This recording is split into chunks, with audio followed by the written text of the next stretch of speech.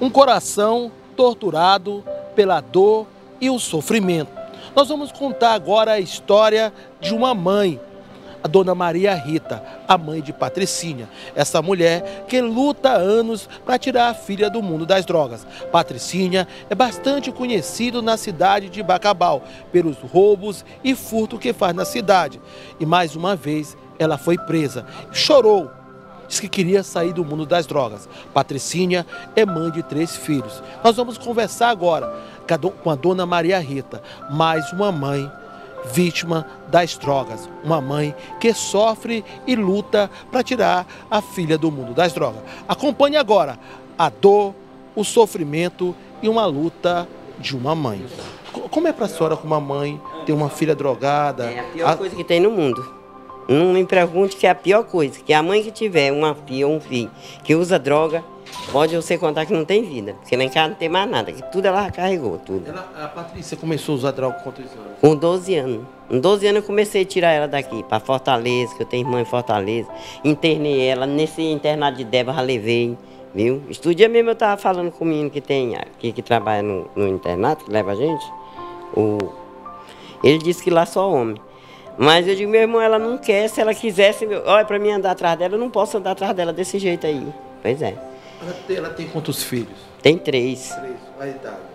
Tem um com 18, um com um vai fazer 19, e o outro 17, que é bem diferente lá em casa, e esse pequenininho. Esses filhos, quando vê isso da mãe? Pois é. Um já vive com depressão, isso daí, só de ver ela desse jeito e os outros falando, também mesmo no colégio. Tá passando por psicólogo, esse me diz 17. É triste, né, pô? É. Pois é, triste demais para mim que eu criei ela. Desde nós tivemos um trabalho, eu e meu sim. Meu sim. Os outros tudo trabalhador? Tudo enquanto. Meu sim é o Edinaldo e a minha filha trabalha no Centro Cultural. Todo mundo conhece nós aqui. Eu trabalho no Caipirão, desde o Caipirão. Tem mais de 40 anos que eu trabalho. Eu conversando agora com a senhora que a gente podia até conseguir uma vaga para ela em algum local para ela sair. Mas, só, mas só que não depende só mim, nem de, de mim, nem de você. É, porque eu já levei já ela, mas não passou duas semanas ela voltou para esse de débito. Ainda dei ainda, foi dinheiro, 400 para comprar cesta para ela levar. Mas não passou duas semanas, ela queria vir embora. Ela chegou a relatar aqui pra gente que quer passar pelo menos seis meses lá para ver que ela se livra dessa. De ver que ela quer, mas não consegue. Eu queria que vocês falassem com ela para ver se ela quer ir se internar, passar uns tempos internado. Não é lá no presídio. Se ela se internasse para ver se ela a melhorar um pouco, passar um tempo. É mais forte do que É, ela não segura mais dentro de casa. Tá sendo mais. Essas lágrimas, não tem mais nem lágrimas nos seus tem olhos de chorar sim. de sofrimento. Tem não. Pois é, eu tô cuidando do filho dela. Aí quero ver agora, que era para mim até ir na ação social, que era para elas passar para mim receber o dinheiro, não é nem que recebe todo mês, recebe só com a mão dela.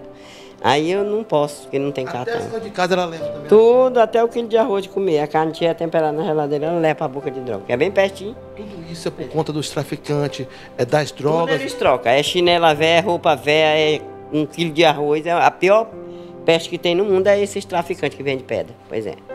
Que ela usa tudo enquanto, é pedra, é tudo enquanto. Isso acaba com a família, acaba, acaba com o. Minha família está destruída há mais de 20 anos, mais de 30 anos. Toda a família, toda a família está destruída. Mãe pode ter 20 filhos, mas ela não quer nenhum um caminho errado. Nenhum, nunca botei nenhum. Toda a vida eu ensinei meu filho foi trabalhar. Pois é. É triste como Pois é, imagine qualquer hora o pessoal mataria ela. Que daí o pessoal liga para mim é de todo lugar, os traficantes, eu acho, da, do Novo Bacabal, a atriz dela, todo lugar, Santo Dumont, todo, tudo, todo mundo me conhece. Tudo eles ligam, dizendo que estão batendo nela, tudo é assim, quando ela entra nas casas. Ela tem, ela tem quantos anos? 37 anos. 34, é. é. Vai fazer. a senhora aparenta estar tá muito mais nova do que ela. Né? Eu vou fazer 64 agora, nesse mês. É.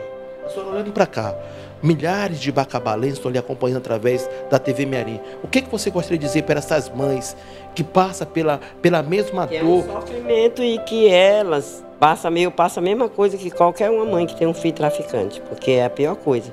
E o traficante não, usuário de droga, porque os traficantes são os que vendem a droga. Que acaba com a família. Pois é, acaba com a família, pois é. Muitas vezes as pessoas olham para a senhora, olham para esse... Ela não sai porque não quer, a mãe... Mas não sabe. Não, não sabe, meu filho, de jeito nenhum. Ela é uma pessoa carinhosa. Ninguém não sei. É. É. Que que é carinhosa, ela só quer as coisas boas, ela, ela nunca quis assim. Mas é só desse jeito. Ela pega, se ela rouba uma coisa dos outros, na mesma hora ela vai pra boca de droga. Na hora que ela pega, não sentava. Ela não aceita essas coisas erradas? Não, eu não aceito lá dentro de casa, não. Porque toda vida nós trabalhamos. toda vida. Aqui é a dona Maria Rita. Essa é mais uma mãe que sofre por conta do tráfico, que desgraça a vida das famílias, que acaba com o sonho de pessoas. Procurasse um interno, se ela quisesse se internar para passar uns tempos, para dar um tempo, que aí eu cuido da criança, que eu estou cuidando, mas mesmo. Nós estamos à disposição. Pois é.